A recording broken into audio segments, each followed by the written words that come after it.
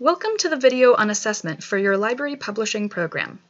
In this video, we will discuss what assessment is, what matters when considering assessment, the impact loop, and common assessment traps. In later units, we will discuss specific methods of assessment for programs and publications. In this video, we will look at some general considerations for all kinds of assessment. Let's begin with what assessment is. For this unit, we will define assessment broadly as the systematic collection and analysis of information to improve decision making. This definition encompasses different organizational, program, project, and product assessment strategies. For your library publishing program, the assessment process should provide information on whether outcomes are being achieved and how programs can be improved. What matters when it comes to assessment?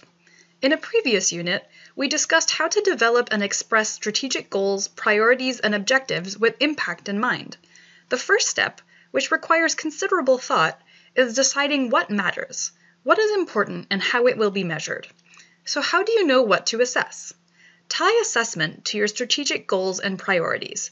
Crafting measurable goals allows us to determine in advance how we will know whether we are making progress towards them, while assessment tells us whether we are making progress towards our goals and indicates areas for improvement.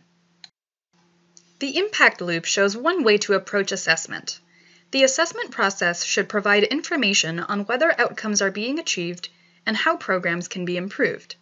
Ideally, this process results in a continual feedback loop of setting goals, determining objectives, implementation, assessment, and improvement.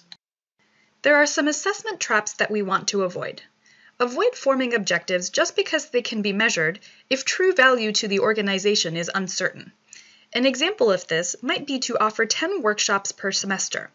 If the workshop content is valuable to your stakeholders, the mere amount of workshops given will not provide value to the organization. Be careful of spending more time collecting data and metrics than is necessary. Also, Beware of collecting data and metrics that are not meaningful or accurate, which can lead to flawed analysis and decision making.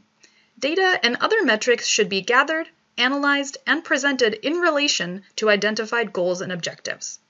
Finally, remember that all metrics have limitations and the potential for bias. Assessment tools are most effective when used in combination. Best practice is to balance quantitative and qualitative methods and to compare results from different methods. Throughout this unit, remember not to lose sight of what it is you consider success. The definition of success will vary, but should always be based on the program's mission, vision, and goals, or the goals and objectives of a specific project.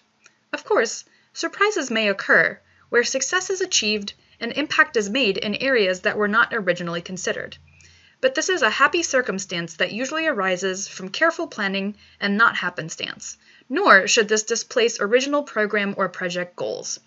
Adaptation and reevaluation is important, but articulation of mission, vision, and goals and how these will be measured is the foundation.